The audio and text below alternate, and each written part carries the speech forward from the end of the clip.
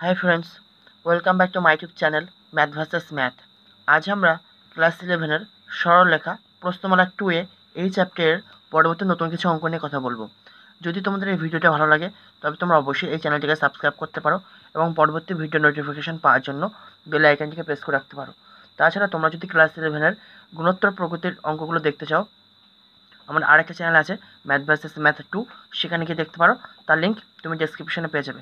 তাছাড়া তোমাদের যদি অঙ্ক নিয়ে কোনো প্রবলেম হয়, সেই প্রবলেমের ফটো তোমরা আমাকে ইনস্টাগ্রামে পাঠাতে পারো। সেখানে তার সলিউশন তোমরা পেয়ে যাবে। তো ইনস্টাগ্রামের লিঙ্ক ডেসক্রিপশানে আছে। তো সেখান থেকে গিয়ে ফলো করতে পারো।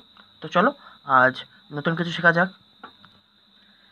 এটা হলো সরলেখার সতেরো নম্বর পার্ট যদি ফুল ভিডিওগুলো দেখতে চাও, তো প্লে লিস্টের লিঙ্ক ডেসক্রিপশানে আছে। সেখানে গিয়ে পুরো ষোলোখানা ভিডিও তোমরা দেখতে পারো প্রথম থেকে শুরু করে শেষ পর্যন্ত।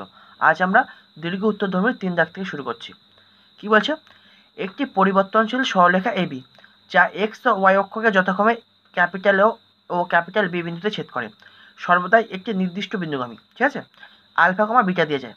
তাহলে কি? যে পরিবর্তনশীল সরলেখাটার কথা বলছে, সেই সরলেখাটা এক্স অক্ষকে এ বিন্দুতে আর ওয়াই অক্ষকে বি বিন্দুতে ছেদ করছে, আর সর্বদাই আলফা কমা বিটা বিন্দুতে যায়।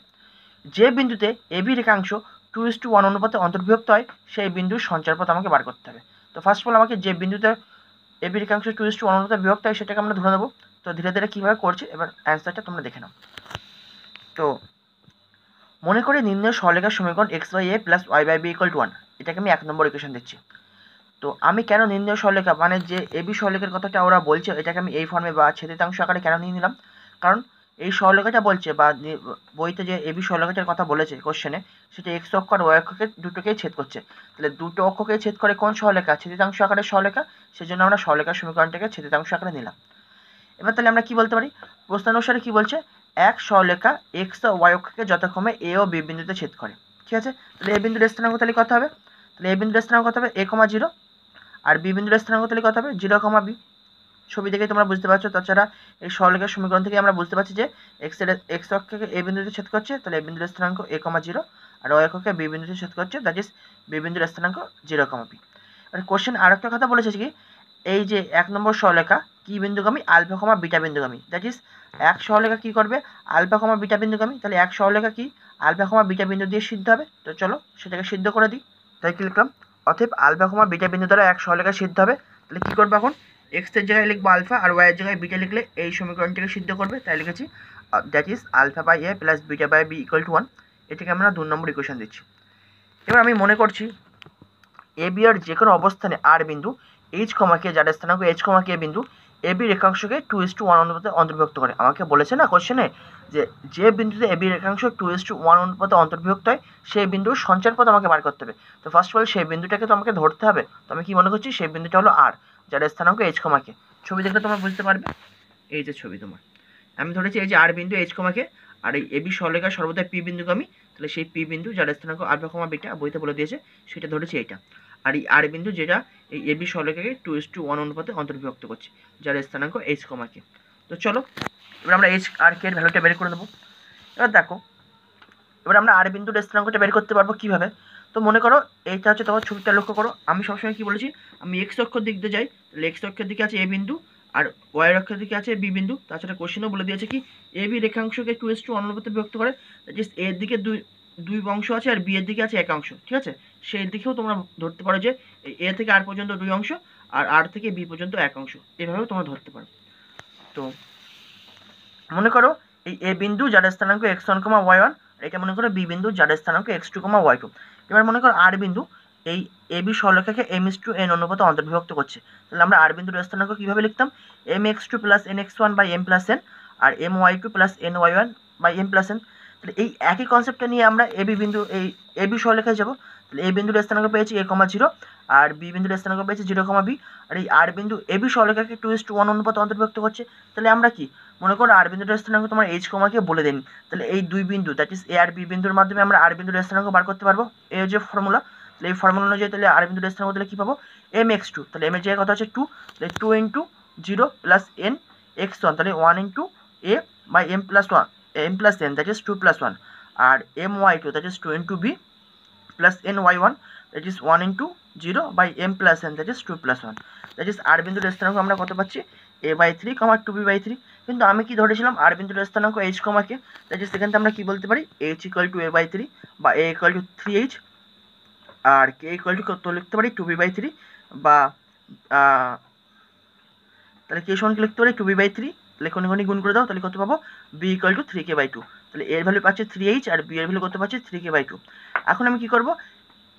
এ আর বি এর মান দুই নম্বরে বসিয়ে পাবো। তাহলে দুই নম্বরে আমরা কি ধরেছিলাম? দুই নম্বরে এই যে পেয়েছিলাম, alpha by A plus beta by B equal to one তাহলে এখন এই দুই নম্বরে আমি এ আর বি এর ভ্যালুটা পুট করে দিচ্ছি, ঠিক আছে? তাহলে এর ভ্যালু কত পেয়েছি আমরা? এই যে থ্রি এইচ তাহলে এখন এর জায়গায় দেবো থ্রি এইচ প্লাস বি এর ভ্যালু কত পেয়েছি? থ্রি কে বাই টু তাহলে লিখলাম ইকুয়াল টু ওয়ান তাহলে এবার কোনো কোনো গুণ করলে আমরা কত পাচ্ছি alpha by three H plus মানে এটাকে সিম্পলিফাই করার পরে কোনো কোনো গুণ করব? আর টুটা উপরে উঠে যাবে two beta by three K equal to one তাহলে এবার এখান থেকে কি লিখতে পারি? থ্রি থেকে ডাইরেক্ট কোনো কোনো গুণ করে পাশে পাঠিয়ে দাও that is alpha by H plus two B by K equal to three এটাই হবে তোমার নির্ণয় যে বিন্দুটার তোমার এবি সরলেখাকে টু ইস টু ওয়ান অনুপাত অন্তর্ভুক্ত করছে, তার সঞ্চার পথ। তাহলে সঞ্চার পথ যখন বল বার করব, তাহলে কি এইচ এর জায়গায় কত লিখব এক্স আর কে জায়গায় কত লিখব ওয়াই কারণ কি আমরা তো শুধু একটা বিন্দু এইচ কমা কে এর জন্য বার করছি। আমরা তো যে কোনো বিন্দু জন্য বার করতে হবে, তাহলে যে কোনো বিন্দুর জন্য বার করতে হলে কী করতে হয়? এইচ এর জায়গায় এক্স লিখতে হয় আর কে এর জায়গায় ওয়াই লিখতে হয়। তাই লিখে দিচ্ছি অর্থাৎ নিম্ন বিন্দু সঞ্চার পথ alpha by X plus two beta by Y equal to three এটাই হবে অ্যান্সার চার দা, কী বলছে? টু কমা থ্রি বিন্দুগামী একটি সরলেখা অক্ষ দুটির সঙ্গে বারো বর্গ একক ক্ষেত্রফল বিশিষ্ট ত্রিভুজ উৎপন্ন করে। রেখাটির সমীকরণ নির্ণয় করো। তো মনে করি নিম্ন যে সরলেখাটা আছে, এই সরলেখাটার প্রবণতা এম যেহেতু নিম্ন সরলেখার টু কমা থ্রি বিন্দুগামী, তাহলে বিন্দু প্রবণতা আকারে আমরা সরলেখাটার সমীকরণ লিখে নিতে পারি। তাহলে সরলেখাটার সমীকরণ কী করে লিখতে পারি আমরা? অতএব নিম্ন সরলেখার সমীকরণ Y minus three equal to M into X minus two একটা প্রবণতা প্রবণতা জানি আর বিন্দু জানি, একটা বিন্দুগামী তাহলে বিন্দু প্রবণতা আকারে সরলেখাটার সমীকরণ আমরা এইভাবে বার করে নিতে পারি। দ্যাট ইস এখান থেকে লিখতে পারি Y minus three equal to M X minus two M that is M X minus Y equal to two M minus three that is এই সরলেখাটাকে এবার আমরা কী করছি বলতো? ছেদিতাংশ আকারে প্রকাশ করছি। কারণ কি? এই সরলেখাটা অক্ষ দুটির সঙ্গে তোমার ত্রিভুজ তৈরি করেছে। তাহলে ত্রিভুজ তৈরি করে কোন সরলেখা যে সরলেখাটি এক্স আর ওয়াই অক্ষকে, উভয়কেই ছেদ করে, আর এক্স অক্ষ আর ওয়াই অক্ষকে ছেদ করা সরলেখাকে আমরা কী করি? ছেদিতাংশ আকারে ধরি। তো এই সরলেখাটি এই ফর্মে বের করে নিয়ে এবার এটাকে আমরা ছেদিতাংশ রূপে কনভার্ট করছি। তাহলে কি লিখতে পারি এখান থেকে? তাহলে এই এম এক্সটাকে এই পাশে রেখে এই ওয়াইটাকে আমি ওই পাশে পাঠিয়ে দিচ্ছি। তাহলে কী হয়ে যাবে? মাইনাস ওয়াই এই যে লিখে দিচ্ছি মাইনাস ওয়াই ইজিক্যাল টু এই মাইনাস টু এমটাকে এই পাশে পাঠিয়ে দিয়ে টু এম মাইনাস থ্রি তাহলে এবার কী করছি? প্রত্যেকটা পথকে টু এম মাইনাস থ্রিতে ভাগ করে দাও। তাহলে M X by two M minus three minus ওয়াইটাকে লিখতে পারি? Plus into minus one into Y by two M minus three equal to two M minus three by two M minus three এই আমরা overall কত পাচ্ছি M X by two M minus three এই প্লাসটা থাকল আর এই মাইনাসটা নিচে গুণ করে দিচ্ছি। তাহলে কী হয়ে যাবে? থ্রি মাইনাস টু এম তাহলে লিখেছি Y by three minus two M equal to one তাহলে এটাকে এভাবেও লিখতে পারি যে এক্স বাই এটাকে লিখতে পারি two M minus three by M কারণ কি এমটা ওপরে উঠে গেলে এই জিনিসটা ফিরে পাবো plus Y by three minus two M equal to one তাহলে এটা হয়ে গেল কি? যে সরলেখাটা আমরা লিখেছি, এই যে, এই একই সরলেখা জাস্ট রূপটা একটু আলাদা করে দিয়েছি ছেদিত অংশ করে লিখে নিয়েছি। তাহলে এটাকে আমি এক নম্বর ইকুয়েশন দিচ্ছি।